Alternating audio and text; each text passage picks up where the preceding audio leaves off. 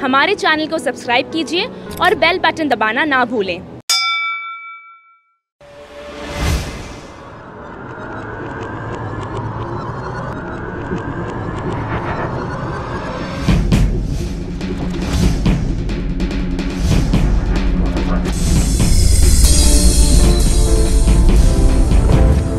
नमस्कार. आजच्या बातमीपत्रामध्ये मी तृप्ती कंसे तुमच्या सर्वांचं स्वागत करते.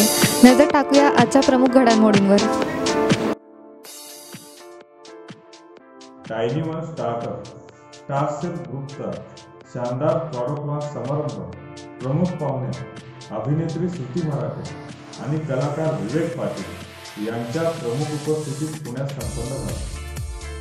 Tiny one startup starsell group हा लहान बाळांसाठीचा पहिला ब्रँड आहे. यात daily massage oil daily hair oil आणि face and body dusting powder ही तीन उत्पादने बाजारात आणली आहेत. या प्रसंगी टायनी वन कंपनीचे संस्थापक अध्यक्ष शिवोग कंपनीच्या सहसंस्थापिका व सीईओ श्वेता सिंह आदी मान्यवर उपस्थित होते. कंपटीशन किसी ब्रांड के साथ है ही नहीं राइट हमें अपने आप में बेहतर बनना है। सो बट ऑब्वियस है कि जो भी इंग्रेडिएंट्स हैं तो या फिर फॉर्मुलेशंस हुए उस पर ऐसे फोकस किया गया था कि वो इस तरीके से डेवलप हो कि वो मैक्सिमम बेनिफिट दे उसमें कम से कम केमिकल्स का यूज़ हो और वो पेरेंट्स को रिलैक्सेशन मिले टाइम नहीं दे पाते। आज आप देख रहे हैं आप जानते हैं कि आज के समय में पेरेंट्स को टाइम नहीं मिलता है।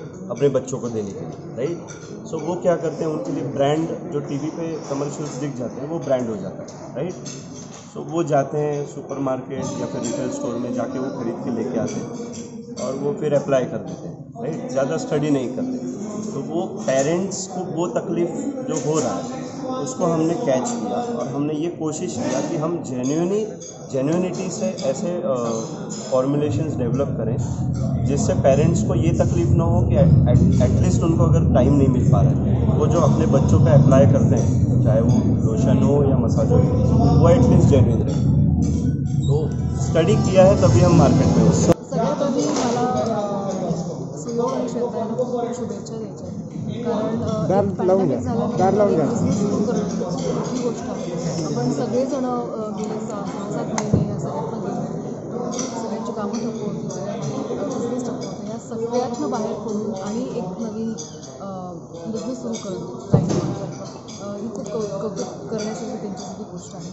तर त्यामुळे माझ्या खूप खूप शुभेच्छा. त्यांना प्रोडक्टबद्दल ऐकून आणि आता त्यांचं टीझर आणि ट्रेलर बघून माझ्या लक्षात आलेलं आहे की बरेच वेळा प्रोडक्ट विकण्यासाठी खूप आर्टिफिशियल गोष्टी वापरल्या जातात. त्यांनी ते सगळं न करता त्या सगळ्या गोष्टी टाळून जितक्या नॅचरल गोष्टी वापरता येतील तितक्या त्या मसाज ऑइल आणि हेअर ऑइल आणि